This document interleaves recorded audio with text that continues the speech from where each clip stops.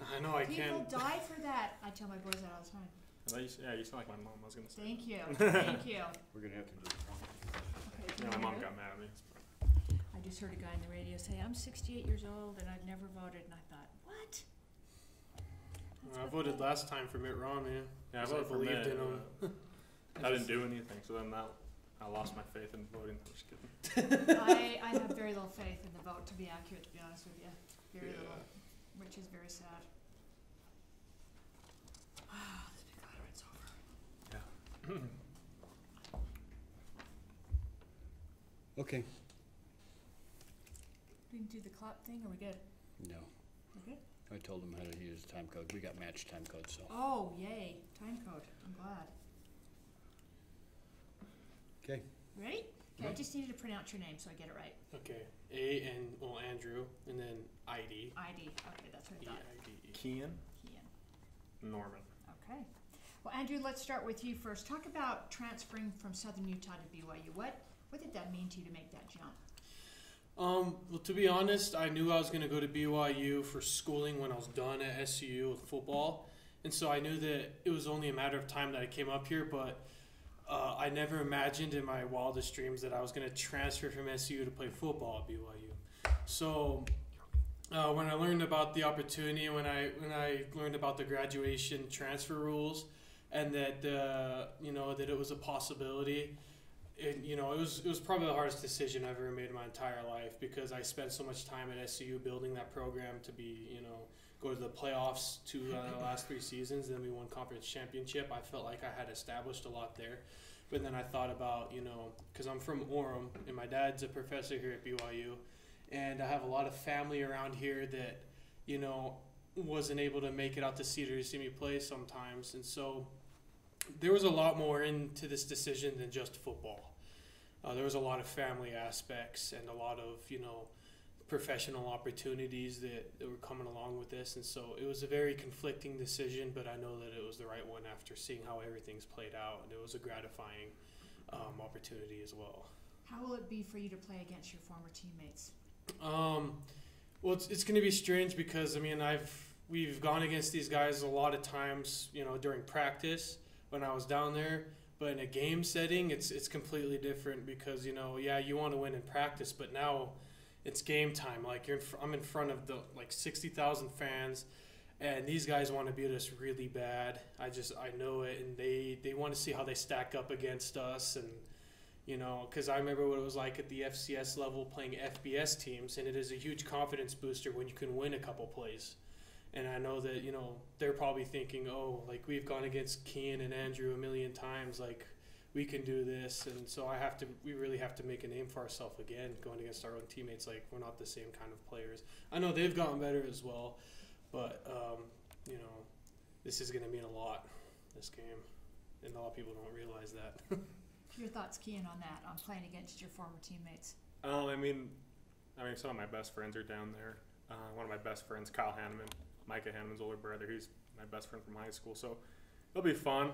Um, football's football, though. Once you get out on the field, uh, you kind of forget who you're playing against, to be honest. And so, I mean, it'll be interesting in between plays. I'm sure we'll joke around and stuff, but you know, playing football is the same no matter who you're playing. So. What did you find is the biggest adjustment coming from the Big Sky and up to Mhm. BYU in Division One? As far as football, Yeah, just Aspect? yeah. Uh-huh. Did Okay. you did you see a As big far as difference? football, I I mean, mean, Mississippi State, yeah. those kind of guys. Honestly, there's some very talented guys at the FCS level, but I think the biggest difference is depth. Whereas at SU, would play against some really good players, but once the backups came in, they it dropped down. But at the FBS level, every guy you're going against was a big time recruit. So I think that's been the biggest difference for me. Mm-hmm. Your thoughts on going against your own teammates and is it going to be weird? Um, I don't. I mean, I Or think you want be- do you want to beat them? Yeah, I mean, really obviously, you always want every know what I time you play any type of game. You know, if you're a competitor, you want to win. So obviously, we want to win. But I mean, I I'm not. I don't treat it like any other game. I mean, a lot of my buddies are playing, but you know, you you play against your buddies your whole life in sports. So Talk about the O line this year. Your thoughts on it? You guys came right in and started Mhm. right away uh, because of two different players Yeah. that uh, did, didn't come back for whatever reason. Your thoughts on being an immediate starter and making an impact? I mean, it's been it's been a lot of fun. I really like how our offense works. You get to play a lot more physical. Um, So I've really enjoyed it. It's it's been a really fun year, and I feel like our O line's really come together. We've been running the ball very well. So This is gonna seem really strange, guys. When the other one talks, can you look at him? Just Yeah. because we, we're gonna have really little B-roll of you guys, if you know what that is, like video. So Yeah. we're gonna have to do some cutaways, so if you don't mind, uh, your thoughts on that, on the O-line and coming right in and, and becoming a starter right away? Um, well, I mean, we, we knew coming into it that it wasn't just going to be given to us. You know, Coach Empey, after we committed and got that release from SU, he's like, I'm not going to guarantee you a starting spot, but I know you guys are competitors and I know you guys will work for it. And so the first week and a half of camp, uh, me, Kian, and Tejan were actually second string. And, you know, Coach Empey gave the other guys a chance to start, but, you know, we worked hard and we got that starting position. And so uh, it was a really gratifying experience having to work and get and get up there. I mean, you know, it was just something I've never really, you know, a challenge I haven't really had because, uh, you know, SU we kind of started right from the get go because they don't like Kian said we didn't have that depth.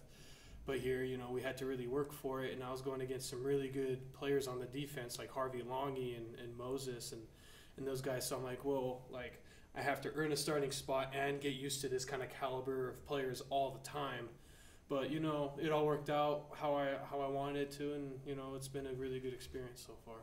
Now, you've already graduated in exercise science, so what kind of classes do you take now at BYU? Um, I actually graduated in psychology and, Oh, psychology, and sorry. Spanish. Okay, sorry, somebody gave me the wrong information. I've got exercise science here, okay. No, I, I graduated last fall with a major in psychology and a minor in Spanish, and I was actually already in grad school beginning of this year at SUU, working on uh, my MPA.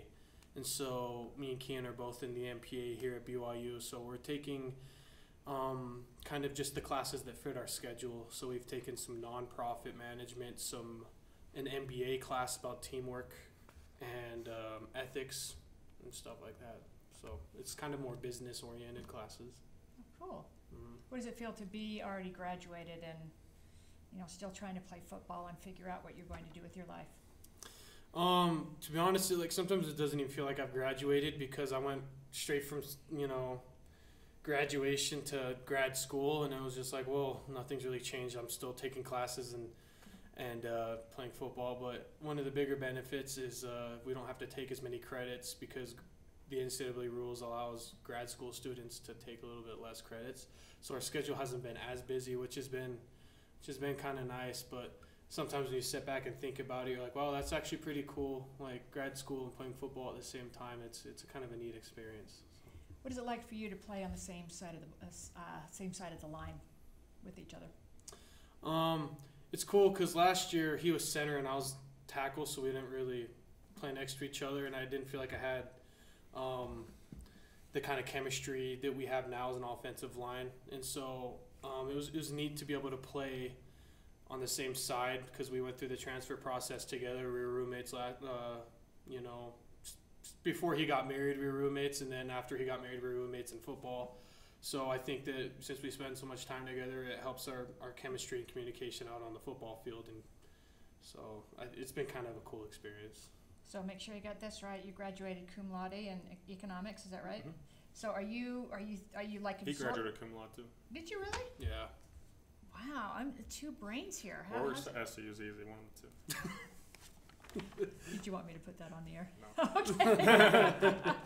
so that is awesome that you guys have obviously you're doing what you love on the football field, but in the classroom as well. Mhm. What did that mean to you to graduate at that level? Um, I mean, it, it kind of was just expected of. I expected it of myself. You know, uh, ever since high school, I was was like, you know, school honestly isn't that hard. If you show up and you do your homework, you're gonna get good grades. And you know, so it's, it was kind of a little bit more of a challenge in, in college football because you get less sleep and you're you're you know you're in meetings from like two thirty p.m. until like 8:30 at night. You're in meetings and practice, and so you're like, "Whoa, I have to kind of manage." And so my first semester of college was kind of hard, but then, you know, you learn how to do it, and then you look back when you see, you know, when you graduate at that level, you're like, "Well, you know, it was, it was worth it putting school first You know, uh, it's, it's just kind of that accomplishment. You know, you can look back and be proud of, and I'm, I'm glad I did it, and Keen feels the same way. So. So what do you want to do with it? Your your uh, your degree. Um, I always wanted to work in higher education, like at a university level or in human resources at some kind of business. Okay. Who's smarter of the two? Definitely Kian. we have different levels of intelligence. Kian's is definitely higher than mine. Who's smart? Who's stronger of the two? Andrew by far. Andrew's a gym guy. Yeah, I'm the meathead and he's the intellectual.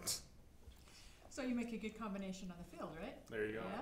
So, Kean, your thoughts on graduating the way you Uh-huh. did in economics? What what was that like for you? So I, uh, so even before I decided to transfer to BYU, um, I was only a sophomore at SU, but I could graduate in about five semesters. So I was looking at some MBA programs where maybe I could play one year of football and but get into a good MBA program. So it's kind of interesting how once I started looking into that, BYU, you know, offered me a scholarship and a spot. So um, I had to graduate a little quicker to come to BYU. I, I graduated the summer of my sophomore year, but um, I mean it's been been a good experience. I'm glad I'm graduated. You graduated the summer after your sophomore year. Yeah, so I could con- so I could play this year. That's a brain. That's a brain. And you have one more year here, right? Yeah, so I'm only a junior. I have so one you're gonna year. play. You're gonna play that next Yeah. year, and just keep going on in the master's program. Is that So the my plan was always an MBA or law school, but with the football schedule, they said law school and an MBA would be pretty tip- difficult. So I just did the MPA, and then I plan on doing the JD MPA after I'm done with football. Okay, could you guys tell me what the MPA is? Master's of Public Administration. Public administration. So it's in the business school. It's like an Okay. MBA, but they focus more on Is it in government. the Marriott Business School Yeah. Kind of thing? So it's in the Okay. business school. And what do you want to do with your career? Um, I don't know. I, I kind of want to go go into consulting or go into legal counsel for a company, then work my way into an executive position. But Okay, that is awesome.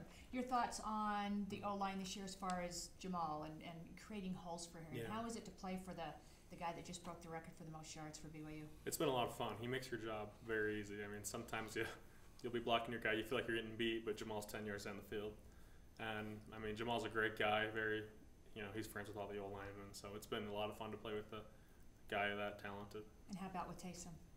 Taysom's a great leader. That's what I've really noticed about Taysom. He is extremely competitive. He's a gamer, and uh, but he's a good leader. And off the field, he's a he's a funny guy. It's fun to goof around with and stuff. But it's been fun playing with those two.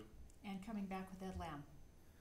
Um, it made the transition easier, you know, a little more comfortable. Like I remember my first meeting at BYU, I felt like I was back at SU. He did the, the exact same jokes. He's telling the same jokes, recycling those, and everyone's laughing except us because we've heard him ten times. But you know, he he does his meetings the same way, so it's it's made the transition a little more uh, made it made me more comfortable.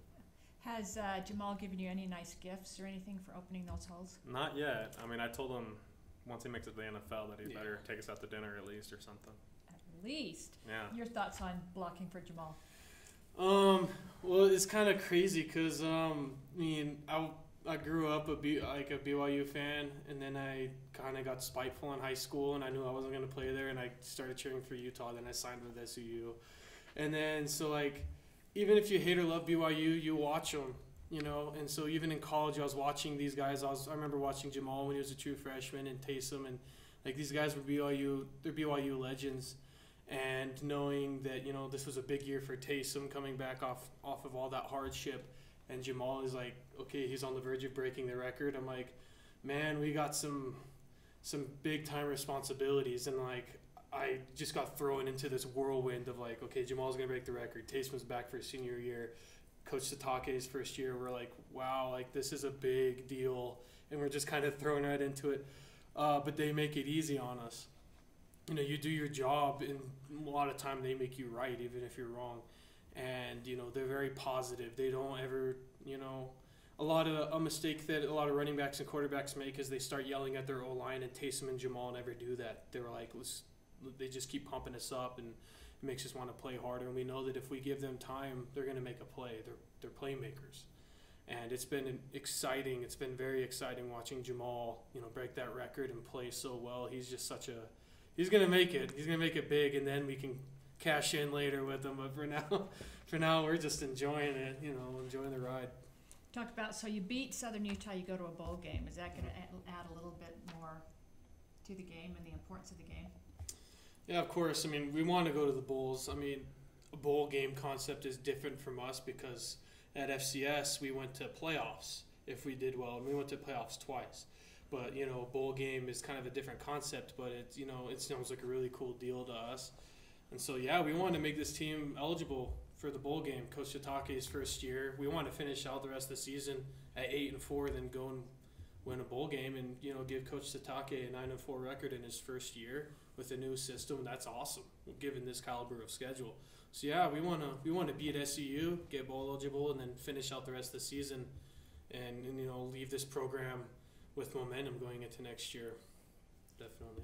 And that will help you since you've got another year, talking about the Mhm. momentum. Your thoughts on, l- final question, wearing that BYU on your chest when you go out there and, and Mhm. play, play for BYU? I mean, I just like Andrew. I grew up in Alpine. I grew up a BYU fan. Both my parents went here. So, in high school, I wanted to go to BYU. It didn't work out. I Went to SU and had a great time down there. But it's been it's been a cool experience. I mean, uh, at the end of the day, football's football. But um, it's been fun playing for BYU. It's been a good experience. So bo- have both of you guys played on the defensive side of the ball down there as well? We play. I so we played defensive line, but then they switched us to O line. Okay, both of you, right? Yeah, When so- you were down there, okay. So you last year we there. both played O line. Okay, what, do you, do you prefer O-line, D-line, what? O line. I like I like O line. It's it fits us better. you know. You guys don't get the pub though, That's okay. really? Yeah, that never really bothered me. I mean, I played defensive end my freshman year when I was a little bit slimmer, and, pl- and then I we both played interior like nose and, and defensive tackle two years ago. And yeah, you get pub when you make plays and stuff, but that never really bothered me. I just wanted to win, and you know. We made we were better O linemen than we are D linemen, and so we made the switch. And you know we were I was having more fun playing offensive line. Even though we weren't bad D linemen, we were good. But you get a good D lineman, they become an even better offensive lineman because you bring the athleticism aspect. And so yeah, we only get our names called out when we get a holding penalty or when we do something bad. And so, but that's just part of the game. And you know, BYU fans and, and the coaches and stuff, they're pretty good about giving us recognition, yeah, appraisal, and Yeah, it's been good. yeah. So you, your thoughts on that, you were, you're both better, you think, on the O-line than the Yeah, D-line? for sure. Yeah. I, I was recruited as an O lineman in high school, but for whatever reason, my freshman year they put me at D line. But I feel like I've been a lot better at O line. Okay, all right, guys, thank you so much for your time. thank you. Can, can you know- sit there for just a second? I wanna whip this camera around and get a cutaway.